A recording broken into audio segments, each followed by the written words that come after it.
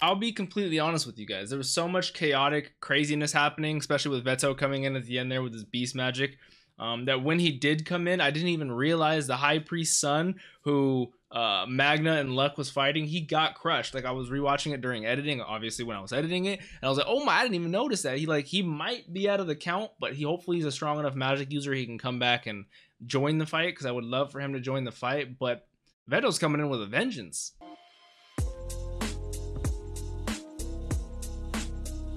What's up, Dapper Squad? It's your boy Darius back at it again with Black Clover, episode 44. Let me actually see what this episode's called The Pointlessly Direct Fireball and Wind Lightning.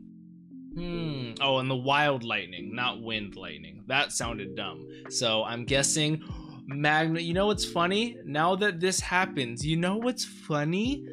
I specifically remember comments early on my early days when we first met Magna that were like, I can't wait for Magna to have some, some, some, some. And I think Luck was involved. I don't remember, but with this title, some shit might actually go down. I'm super excited about this. Remember, if you guys want early access and full length to this show, all the shows I'm watching, we are four episodes ahead. Check out the Patreon down below. It's always available to you guys. If you guys want to support me and Patreon's not really your thing, if you guys could just leave a like and a nice comment, it really does help me with the YouTube algorithm. It really does. Don't forget to subscribe if you guys currently are not. Join that Dapper Squad. Click that bell so you guys always know exactly when I post my videos. And then follow me on all my social medias, Instagram, Twitter, and Twitch at Dapper Darius. Thank you guys so much. Let's hop right on this. Uh, Black Clover, episode 44 The Pointlessly Direct Fireball and the Wild Lightning. So, uh, you guys aren't seeing this, but I learned in the recap of this episode, it said the priest's name, I didn't know his name, was Gifso. Or, yeah, Gifso. It's either pronounced Gifso or Gifso. I'm assuming Gifso.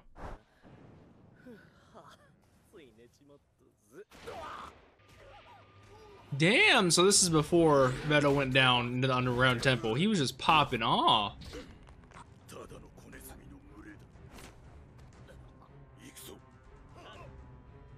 Ooh, his grimoire looks crazy.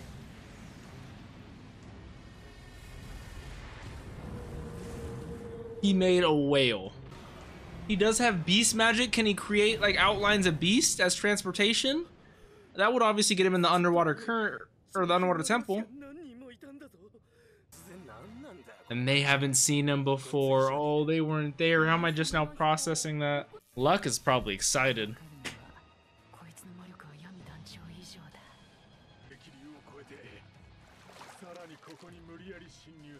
So he's not down for the count. I'm excited by that. We get to see his face too. Don't brag. I like you. Come on. Yes, that's exactly what I'm thinking. Let's fight him. See, back to the spell he was using. Rhinoceros. He can make many beasts' attributes. So the whale goes underwater. It's his transportation. The rhinoceros armor. That's so cool. And he loves calling people mice. Because he's a beast, obviously.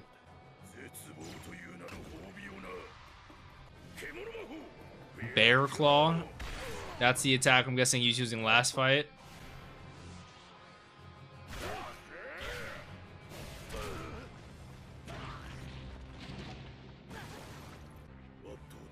Yeah, he is so nasty.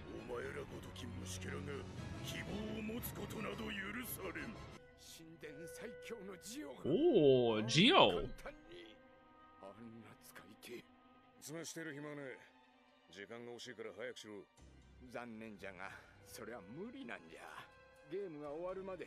It's a part of his game magic Yep, it's kind of like Hunter Hunter in that way. It has restrictions and conditions. I love those in, in anime. Lightless slash, Jesus.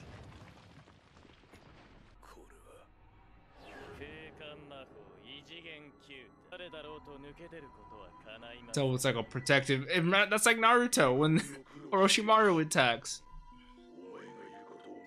And he can even sense Yami.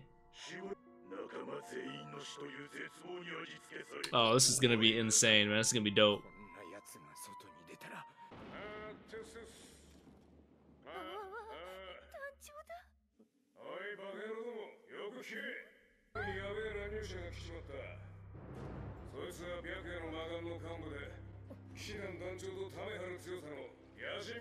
Give him a little context so they know going into it that it's going to be a formidable fight. Hey, Asta knows already immediately. I like I like the way the show cut off Yami so he can't come in and save the day. I like that. I like it. Surpass your limits. He's just an old man looking for an adrenaline rush. Told you it was gonna be a team up. I told you. So not necessarily a team up, but at least we all have a common enemy to defeat.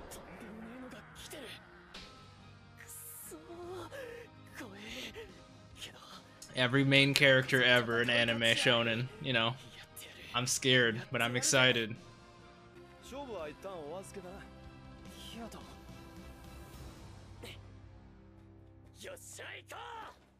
I love to see this, man. I love to see this.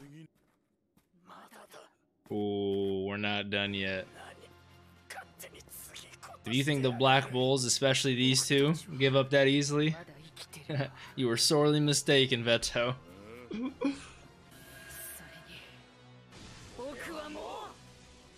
Oh, look at that magic. That looks so cool.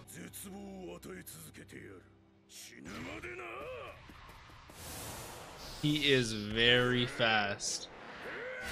But is he faster than lightning? That's the real question.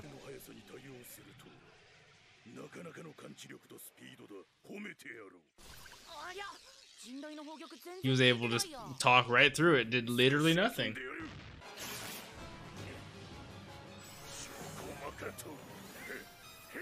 Oh, he is so quick. I love it. He's so fast, but he's not able to do a lot of damage right now.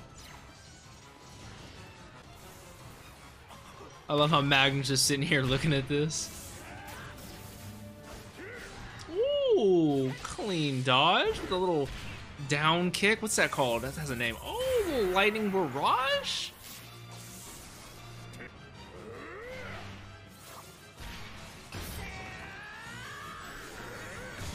That was an insane little rally right there of battle. A battle maniac. That was so cool. Ashback. When they first met? The cheery berserker. That's a pretty accurate nickname.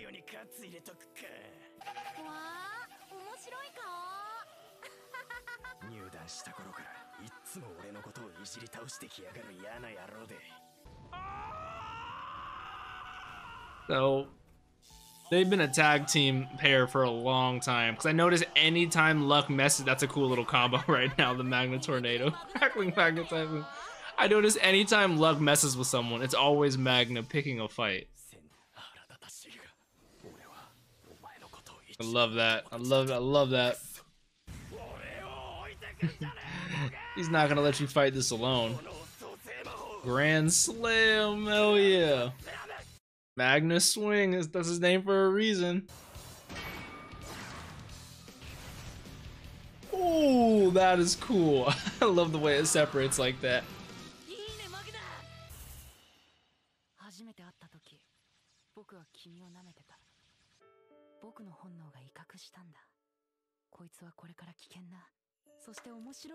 Love to see that. Luck's a very instinctual guy. Yeah. I remember that. Oh, they're both not realizing it. They've known it for a long time, but they're both admitting in this crazy situation. Oh, I'm not even best friend. It's very first friend. That's even. Hell yeah, man. That's about. That's awesome. But it can't do anything to Vetto. Oh, he's so strong. I would love for Asta and Kiato. I would love for Austin Kiato to join this fight.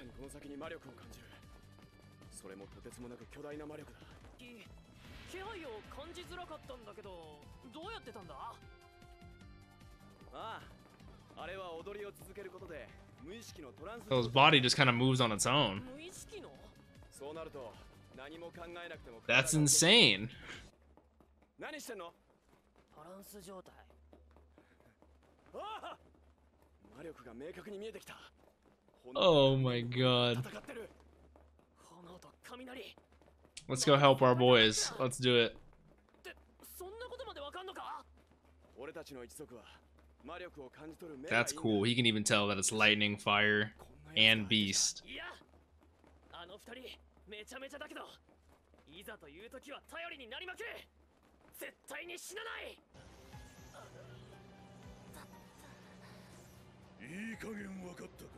This man is really something else. I want you to Vetto backstory, how he turned into this fucking beastly beast.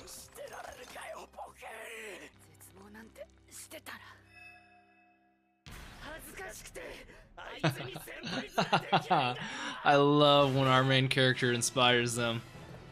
Can't act like they're his superior anymore. If this is despair. Oh, quick?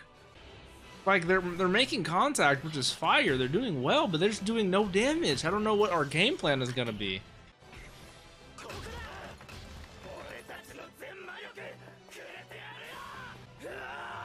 Lightning, fire.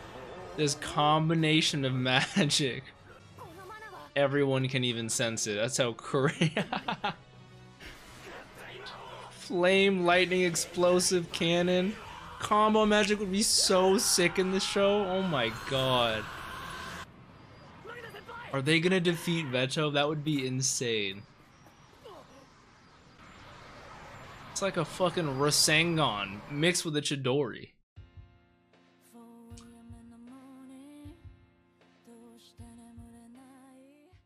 Well, another fantastic episode, a fantastic fight in there. I, I think still my favorite part of that though was not the realization, like I said, but the acceptance that they were each other's first friend and best friend, because that means a lot, especially when you're joining like a squad of people that you're going to be working with day in day out. That's going to be essentially like your new family. So that's that's big. You know, when they first met each other, they they each had their own little inner monologue. I love that. We learned that the high priest's name was Gifso, his son Gio, son and daughter Kahono, and Kiato. Interesting, all end in O. Um, but I loved Vetto's seeing more of his magic because Grimoire is insane. The orange with the beast claws with everything. Um, his whale used as transportation.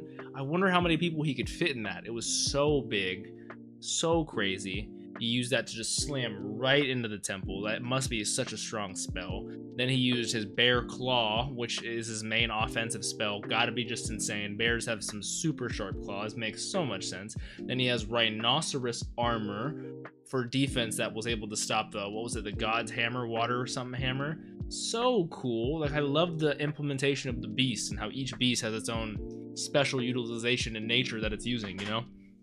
But that is just ooh, ooh, ooh, ooh. And I love the way, I love the reason, the original reason that Yami was out of the competition was because he's too strong and the, the numbers were uneven. So let's kick him out. Let's make him watch with the comp with the with Gifso. Makes a lot of sense. He's gonna sit there, drink, have a good time. But then when Vetto comes in, the magic condition he which makes sense for Gifso but he can't leave this room. He's the he's the game master, he's the spectator, he's the referee, he's everything when it comes to that. Makes sense that he can't leave. So anyone he would encompass in this room also cannot leave.